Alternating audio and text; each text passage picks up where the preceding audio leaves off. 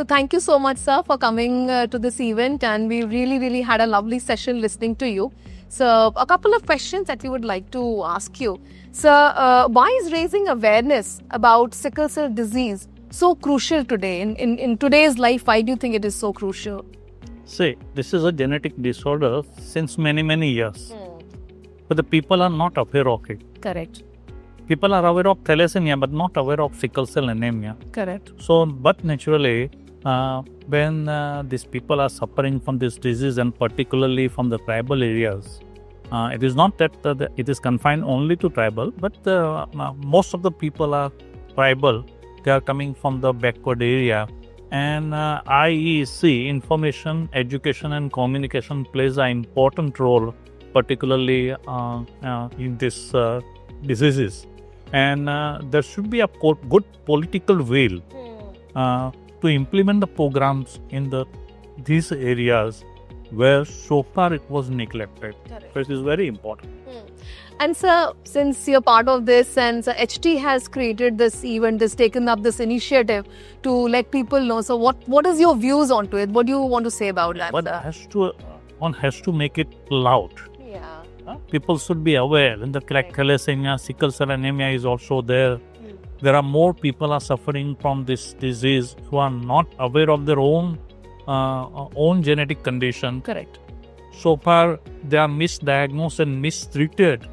So all this information which you bring to the people uh, is definitely going to help them and improve their lives. Yeah, and media amplifies, so that definitely, works. Media plays much more. Yeah. So, sir, and uh, so if you have to just give one pointer to everybody who has attended this event today, so what do you think is going to be one takeaway that you would like to let the audience know? Yes, treatment is one part for sickle cell anemia, which government is doing excellently at the moment. Right. One of the world's best, probably I can say, Oh, that's nice. because uh, I have I have traveled in USA, I have traveled in Africa, uh, uh, uh, West Indies, UK, and other places where wherever there are African American born or African uh, origin born people, sickle cell is always there. So among them, we are we are having very good uh, medical services for these people.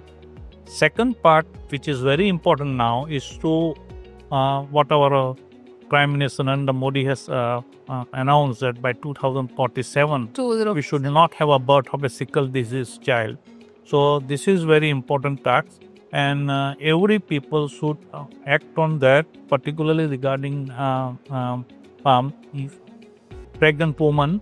They should be screened. Their husband should be screened if Right. positive, Right. and um, PND, that is prenatal diagnosis, can be offered to them, which is offering uh, offered by government free of cost, and people should come forward for that.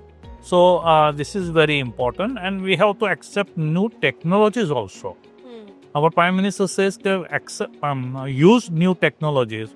So one of the technologies is IVF with pre-implantation genetic diagnosis Right. Where you can use either sperm or ovum, which is free of such uh, genes, and we can have a normal, healthy child. Yeah. So this is very important, and the cost of uh, um, um, treatment uh, throughout the life Is is much more less or much more high Affordable. than this IVF plus PGD, that is pre-implantation diagnosis.